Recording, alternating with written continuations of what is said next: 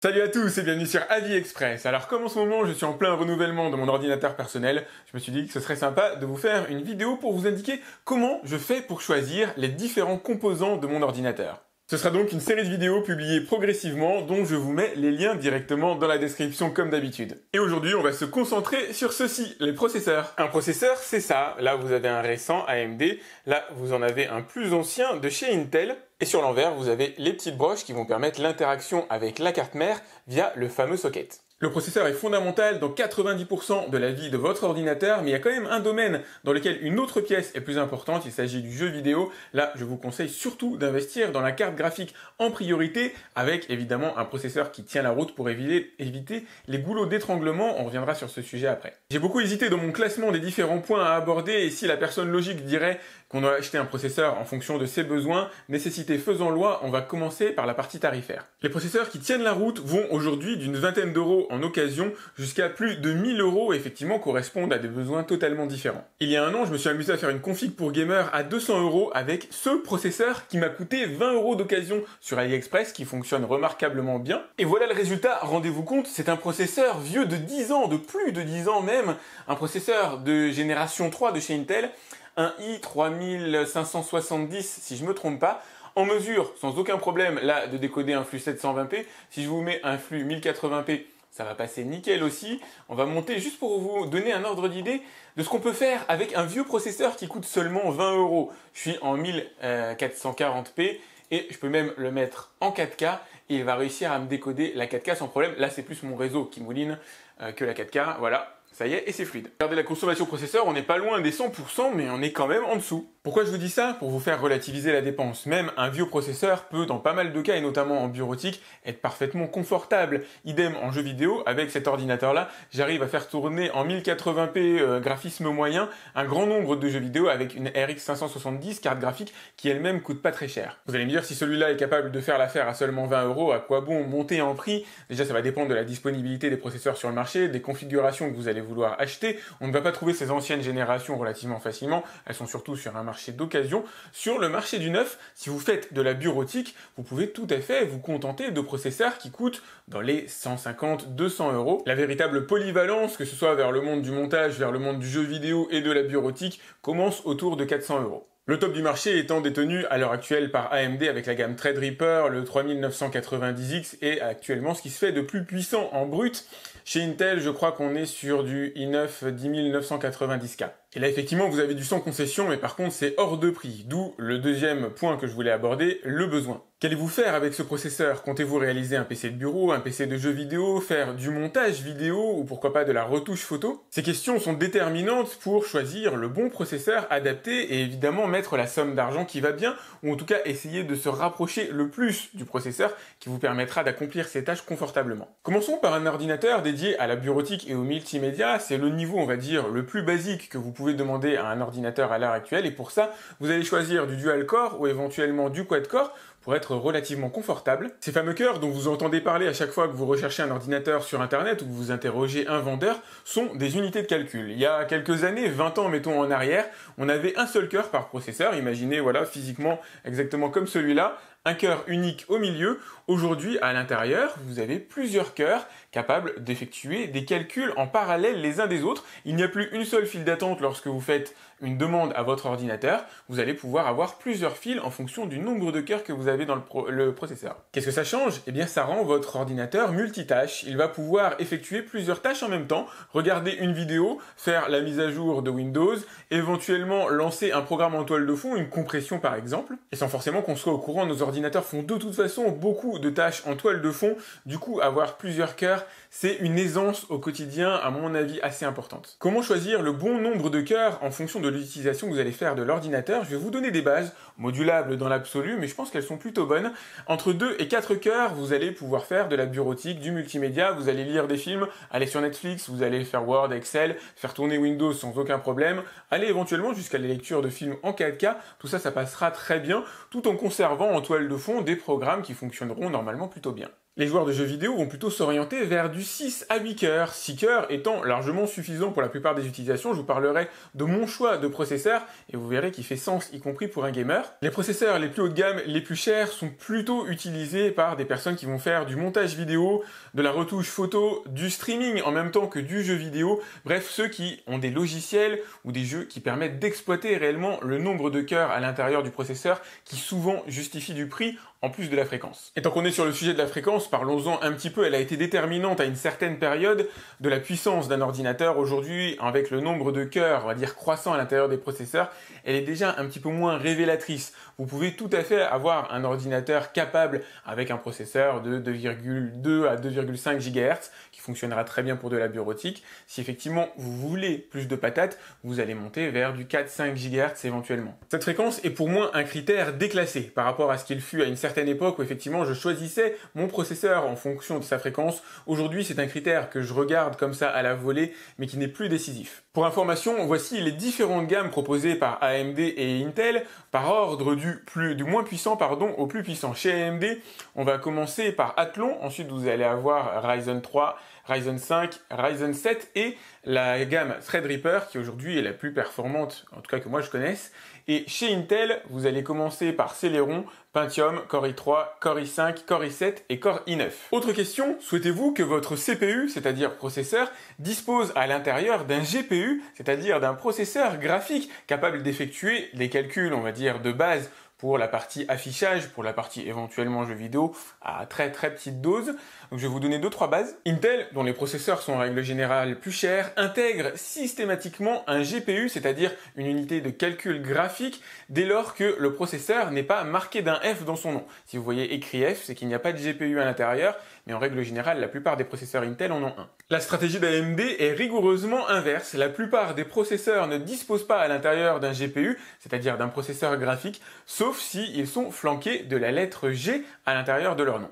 On résume, Intel c'est cher avec un processeur graphique à l'intérieur, AMD c'est moins cher mais en général il n'y a pas de processeur graphique à l'intérieur.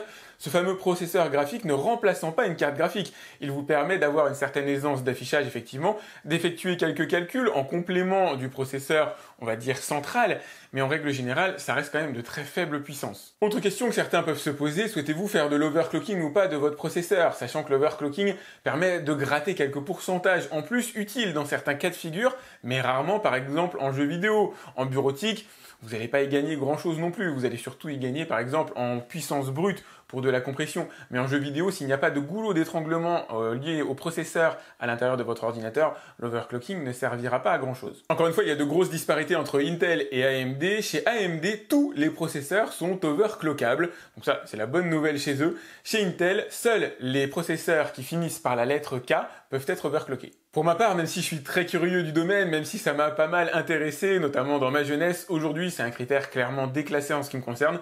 Je ferai un petit effort d'overclocking pour le processeur que j'ai acheté uniquement pour mon plaisir personnel, mais c'est pas un critère déterminant. Critère important par contre, la consommation électrique. Tous les processeurs ne sont pas égaux et le choix d'une consommation électrique impacte aussi sur d'autres pièces, notamment votre alimentation plus vous allez avoir un processeur qui consomme, et une carte graphique évidemment qui, consomme, plus déjà vous allez consommer en électricité évidemment, et plus votre alimentation va coûter cher, et vous allez nécessiter des certifications supplémentaires dans votre alimentation pour garantir qu'elle sera en mesure d'absorber la puissance demandée par ces pièces-là lorsqu'elles seront fortement sollicitées. En bon père de famille, personnellement, c'est un critère que je regarde. Critère appuyé ou non par la présence d'un turbo à l'intérieur du processeur. En règle générale, maintenant, c'est le cas pour quasiment tous les CPU, mais bon, sait jamais, je vous donne l'information le turbo, c'est ce qui permet de faire passer votre processeur d'une fréquence de base qui est relativement basse, qui permet d'économiser de l'énergie lorsque l'ordinateur est peu sollicité, peu utilisé, à sa fréquence maximum lorsque vraiment il y a besoin d'envoyer de la patate. Ça vous permet d'économiser de l'énergie, de l'électricité,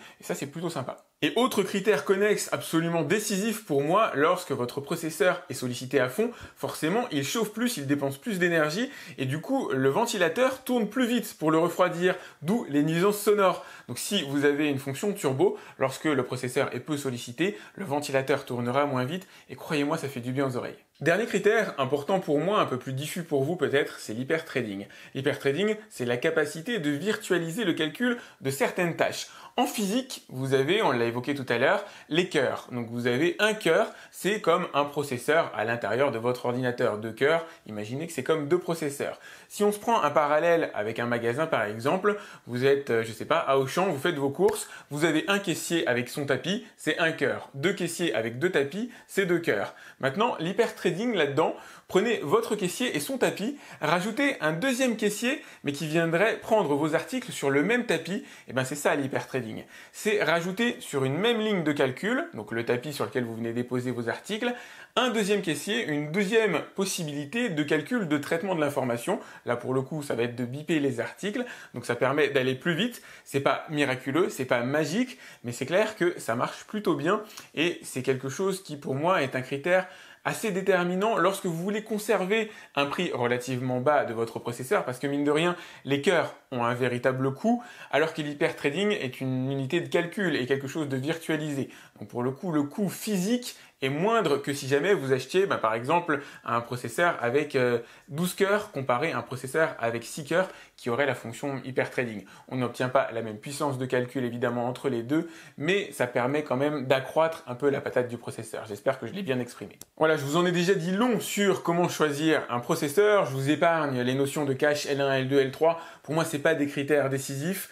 Ce qui va être intéressant maintenant, c'est de voir comment moi je fais. Parce que mine de rien, une fois qu'on se retrouve face à sa feuille blanche, face à ses besoins, etc., on n'a pas tous exactement la même manière de voir les choses. Donc je pense que ça va être intéressant de vous dire comment moi je choisis et pourquoi je choisis. Vous vous souvenez en début de vidéo, je vous ai dit je réfléchissais entre le prix et le besoin pour déterminer quel est le premier critère, mais très franchement, à titre personnel, c'est le prix qui euh, ressort comme premier critère, alors que pourtant mon besoin va vers la conception de vidéos, c'est-à-dire l'utilisation de logiciels qui consomment énormément de ressources, en tout cas qui pour aller le plus vite possible nécessiterait d'avoir les processeurs les plus puissants, et c'est pas ce que je me suis offert ici, tout simplement parce que j'ai pas plusieurs milliers d'euros, enfin plusieurs milliers, on va dire 1000 à 2000 euros à mettre dans un processeur vraiment taillé pour être au top du top en matière de compression vidéo et de montage. Donc du coup, j'ai pris un processeur qui rentre dans ma gamme de prix qui était d'environ 400 euros. J'ai pris le Ryzen 5 5600X qui m'a coûté 370 euros. Question essentielle pour moi, pourquoi ai-je décidé d'investir maintenant et pas avant ou pas après?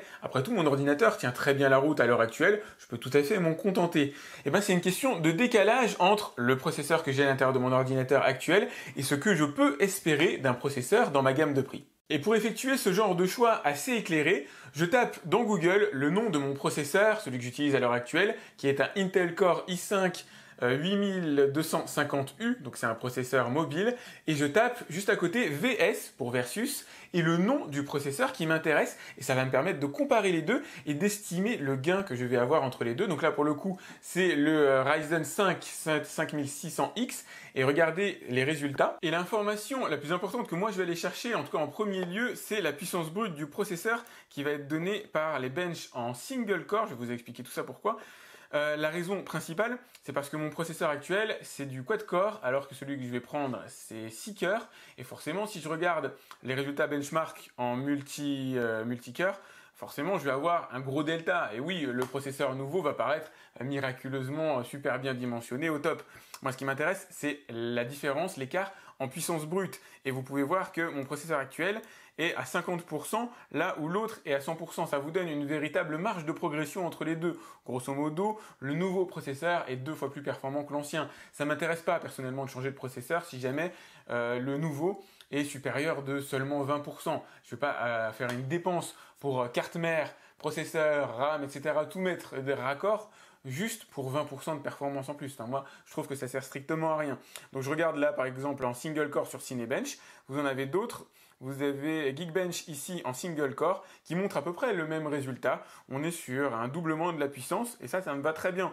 On peut changer de processeur avant, évidemment, à partir de 30%.